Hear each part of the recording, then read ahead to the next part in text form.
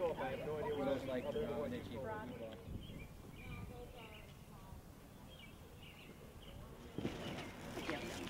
So like, do they want us to encourage the He's adults? still using the walkway, yeah, using everything that we have. And we thought if we pulled the bike rodeo into this event, Yeah. it's one weekend, we've got everybody here. Right. If we break it down to the simplest things, we can just say bike rodeo, call around, see if the volunteers are there, and show up.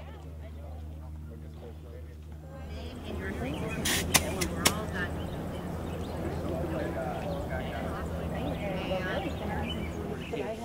Yes. Take one of those. What would you like? Okay, you take one of those. She has a blue, so Slightly before, so we're gonna extend this a little bit longer. So you want this to come down right below the ear on both sides. Okay. And then when you get both sides, then you can adjust this side down. And I'm gonna do it here, but I'm just showing you before. And then try and have a finger length underneath. Okay. But the key is always make sure it rides forward on its forehead.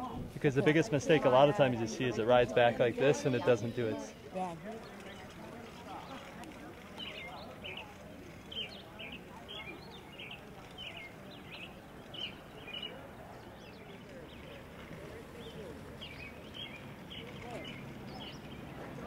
Yeah. Don't ride in there yet. I think you have to go one by one.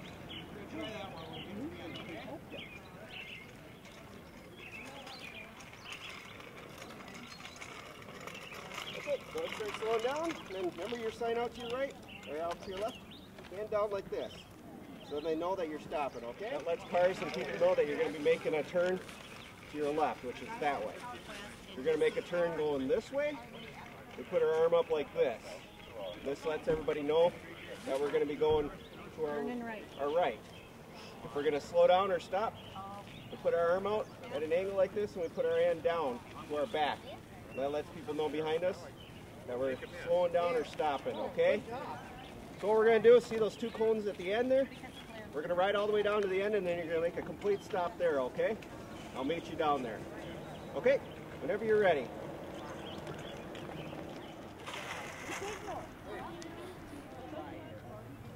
Cars. We have to make sure we're always looking to see where cars at, because cars are our biggest problem. You don't want to, you don't want to get run over by a car. I see you all got your helmet. I got my helmet over there, but I'm not riding my bike right now. Okay. Okay. I'll teach both of you here at the same time.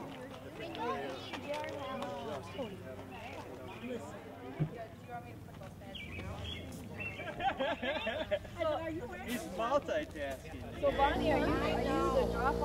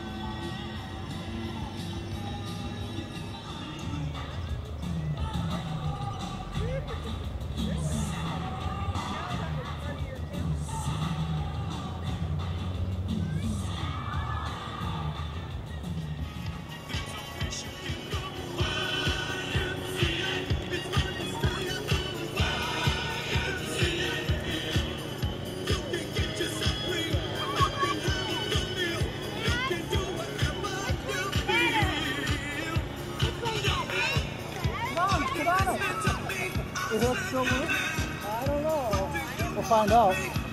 You're up.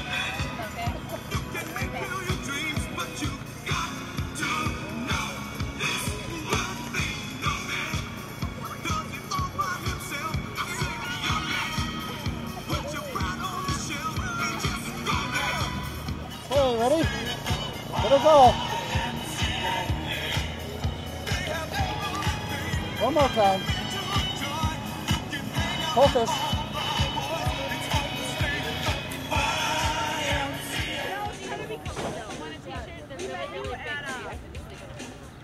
Street and open it up to the community to walk, bike, skateboard, and just enjoy non-motorized transportation.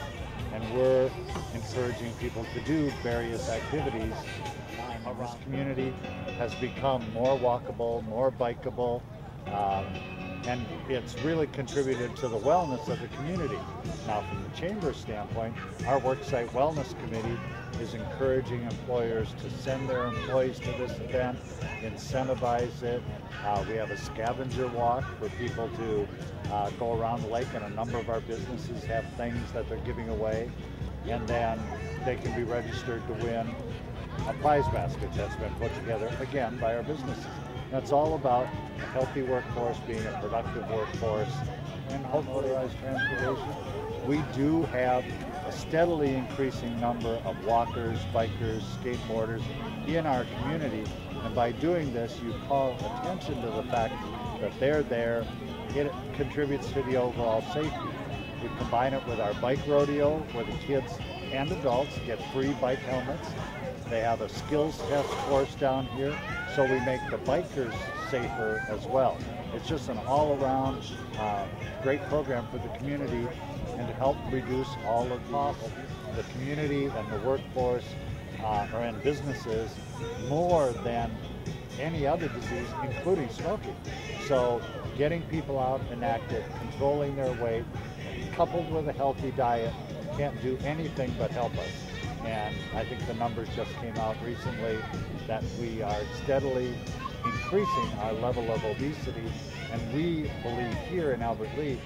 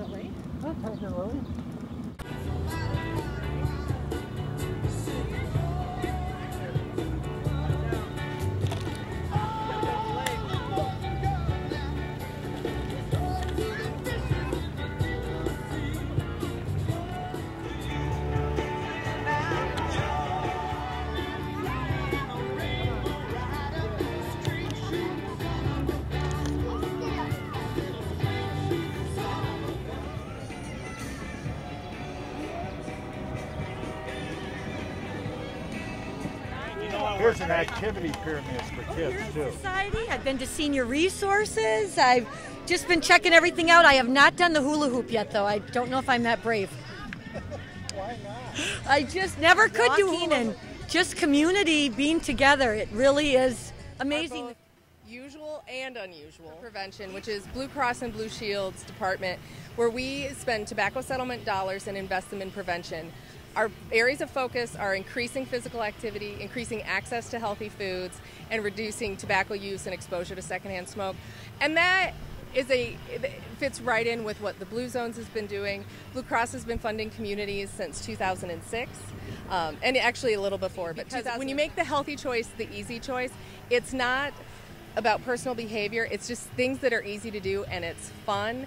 And what we also see is that communities benefit from them on multiple levels, that they are more socially connected, that they feel like they feel healthier and they actually become more economically vital and and they're more old fashioned but they're things that we as we as societies move faster we've forgotten about the importance of social connectedness and so when we think about communities and the fact is when i'm out walking my dog i see my neighbors and i notice the seasons and when i'm out on my bike i stop at more local businesses. I have that my ride i have to go over a bridge. And i like to think that once i'm over that bridge that's letting go of all the stress of the day and kind of activity.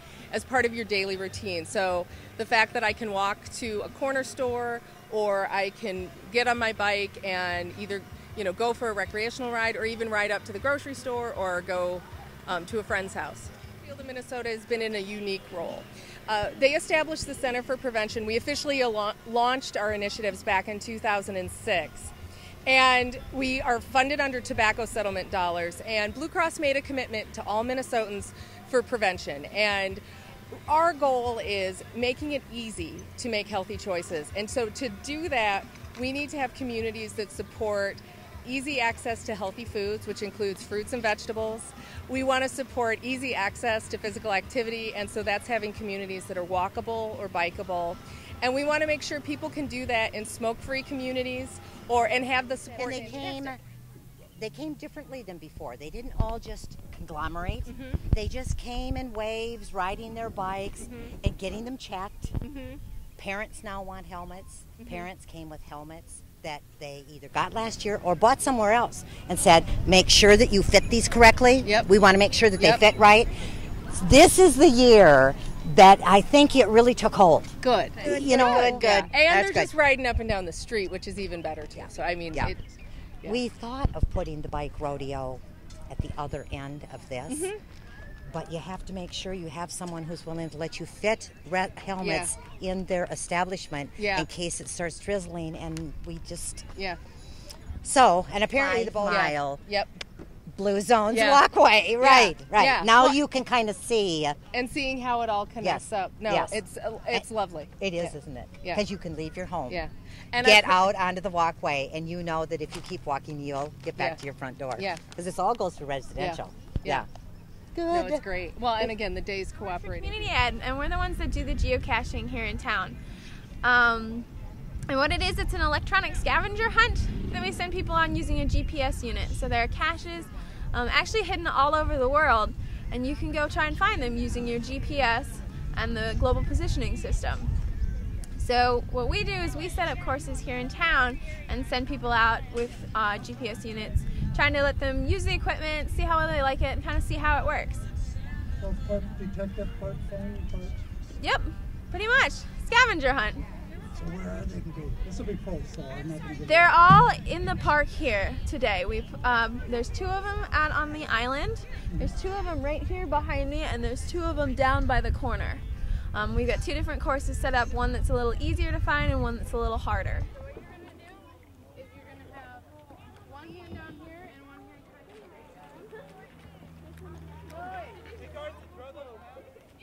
Um, we can just take you to this side, up on the grass.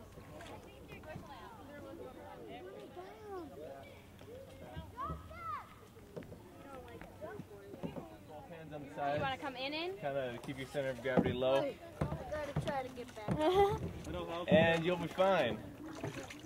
Um, once you're in the back, I'll push you out a little bit, and then you can get in.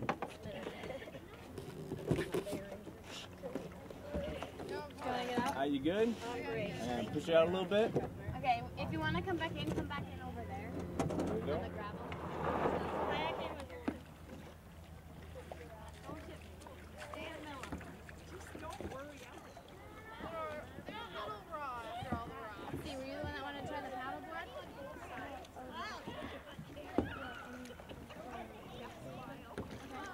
Oh, the double? For everyone.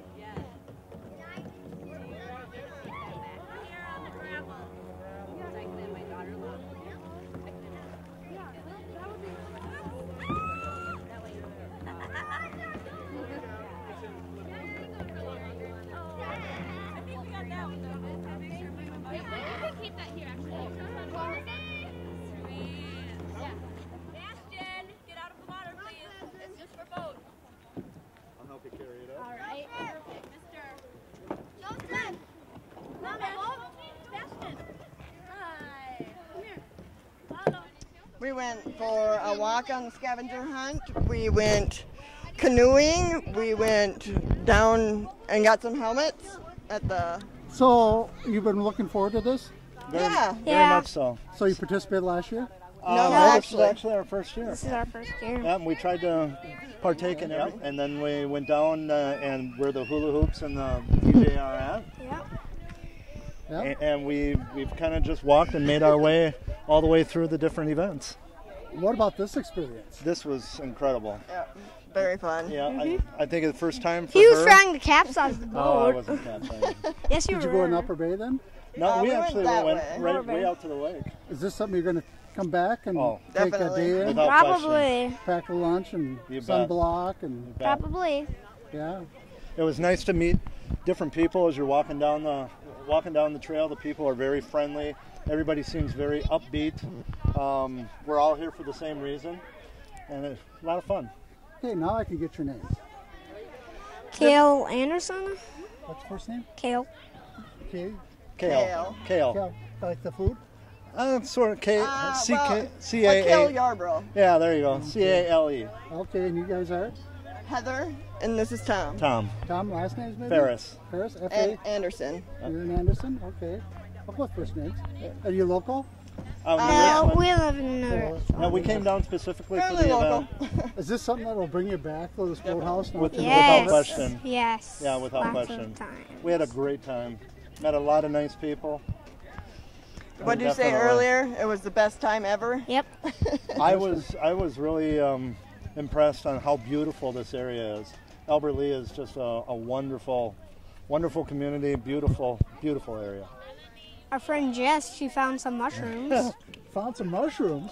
um, they That was last week. Morel mushrooms. Oh, you did find some, huh? Yeah, yep. On the On trail? the trail. Actually, quite a, quite a few of them. yeah. Well, Oh, we probably put that over everybody.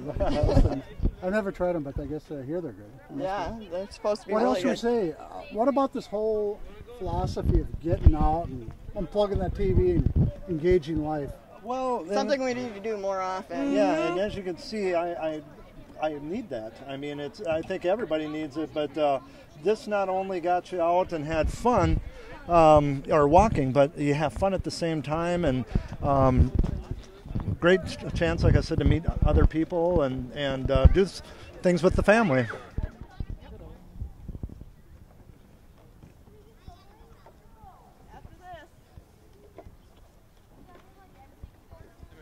We've got paddleboard, stand-up paddle boards. We've got canoes. We've got kayaks.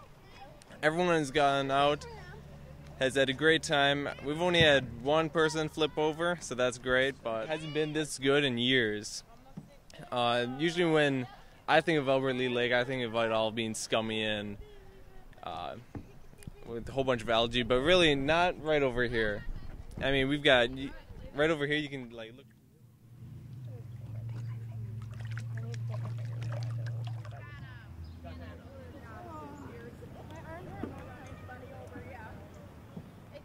Hey, Murtaz. Hi. Did you go out here?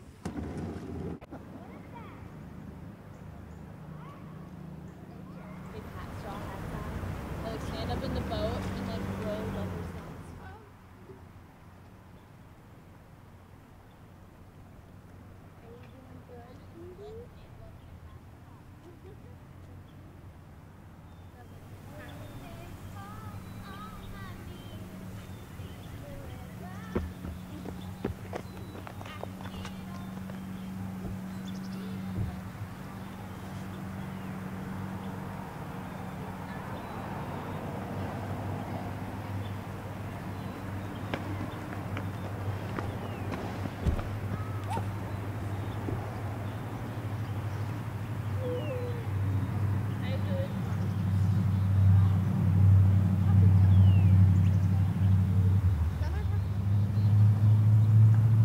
Yeah, you buy me one. Yeah. Good luck with that. Well, I can just use it a couple times, and then you guys could use it and buy shares. It'd be great.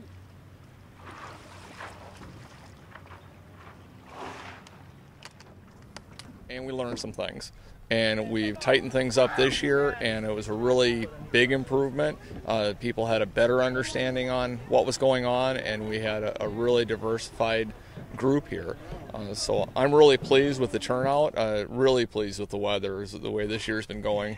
Uh, so just very positive. People are really enjoying the opportunities And you offered uh, canoeing, kayaking, stand-up paddleboarding, archery. Over on Bridge Avenue, there was um, geocaching, Zumba, yoga, giant hula hooping, uh, bike safety. There was a helmet and bike safety course here at Brookside. There was a scavenger hunt between the two locations. Uh, and uh, farmers market was going on too, which I'm really disappointed that I didn't get there. So, uh, just a lot, a lot of things going on, really positive uh, outcome. uh, Very, the, the only negative that I saw in the whole thing or heard about uh, was one gentleman was unhappy because he was trying to launch a boat and there were too many kayakers out here. Uh, so I believe he went to another boat landing, but but that's uh, Distri- District 241, Albert Lea Community Ed. We have uh, open canoeing and kayaking on Monday and I'm sorry, on Wednesday and Friday afternoons, one to three. Thursday nights, six to nine. Saturday mornings, nine to noon, and down on Pickerel Lake uh, between 5:30 and 8:30 on Sunday evenings. Which you've got to see Pickerel. No, first come, first served. We have lots of boats. Let's get out on the water. Yeah, and it's just a beautiful natural resource. People are just amazed at the beauty here. And talk about that water quality too. Oh, the the water quality's been improving consistently here the last few years. Uh, you're seeing where you used to put your paddle down and feel just muck on the bottom. Now it's it started mixing with sand. In some areas, it's it's just sugar sand. Uh, if you want to see what the lakes really could look like, go down and canoe on Pickerel Lake. Uh, you can see clear to the bottom. It's distracting. Okay, wildlife, eco- Uh, ecology, fisheries. Oh, uh, they just can't even begin to compare it. Uh, around here right now, we- we've actually just went and got uh, some Ducks Unlimited posters for duck identification because of the numbers in the area, and uh, we got some silhouette printouts uh, so that people can tell which raptors they're looking at because we have such diversity here now. Uh, there's, I know for a fact, there's an osprey nesting around here, as well as multiple bald eagles, and of course the turkey vultures. And the word's getting out uh, about the fishery, isn't it? Well, it, People are saying, well, we could go here, we could go there, but we can go to Albert Lea and catch fish. Uh, the, the the fishing has gotten good enough that the fishermen won't tell you what they caught. So uh, it's, they've decided to keep some areas a little quieter. Uh, we have a wide diversity of fishing, uh, whether it's catfish, walleye, northern, panfish, uh, whatever you're looking for is here, and, and the people are catching them. I, I was amazed to see bass fishermen that are circling the lake on a consistent basis. And the areas that we traditionally canoe and kayak in, because of the shallower basins, we have never really seen much for powerboat activity. Uh, you can see some bass fishermen are a little frustrated that they can't get back in there deeper.